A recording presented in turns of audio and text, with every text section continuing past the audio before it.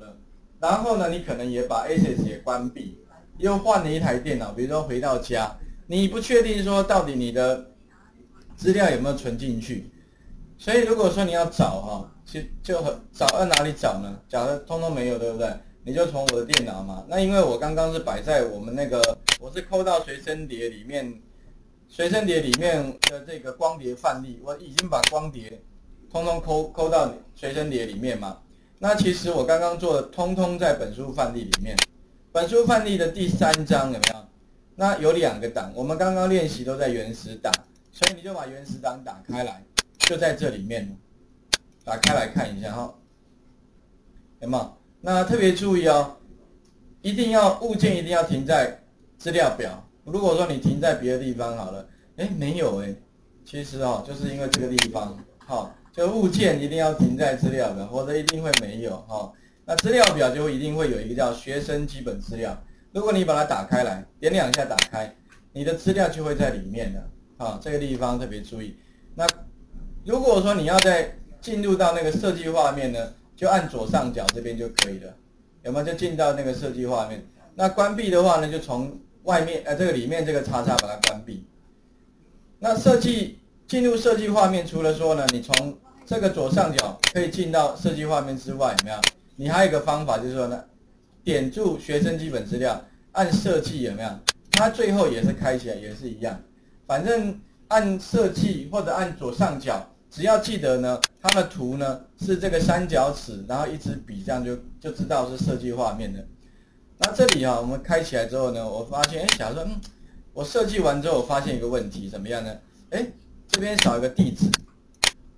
不你们最好，你们这个也可以把它调整啊。那个宽度怎么调？很简单呐，这样拖拉过来就可以了，跟 Excel 一模一样。另外，你也可以在这个线上面点两下，它会自动帮你去调整。哦，它会自动去调整那个宽度，这样就可以了啊。那如果今天呢，我这边哈，哎，少一栏，少地址这一栏的话，如果我今天地址的部分要重新再输入上去，该怎么办呢？特别注意哦，你就按这个设计，好不好？按那个三角尺这个地方。那因为呢，我今天要在邮递区号，嗯，这里的话，请参考一下哪里呢？这边呢特别注意啊，请参考三之二十二页这里，三之二十二页这里啊，要增加资料表的栏位嘛，三之二十二页这个地方啊。如果我今天呢希望要增加一个栏位，叫做地址，那地址的话该怎么新增呢？如果我今天呢是希望在邮递区号的上面。新增一个栏位叫地址，那我就特别注意哦。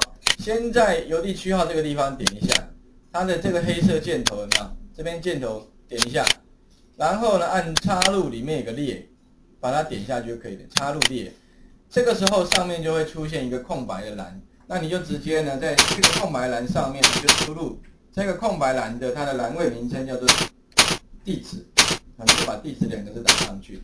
那地址的。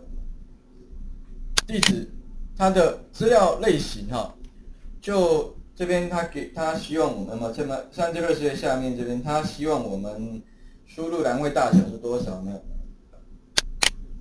有没有最下面呢？三这二十页最下面呢？栏位大小他希望设为二十啊。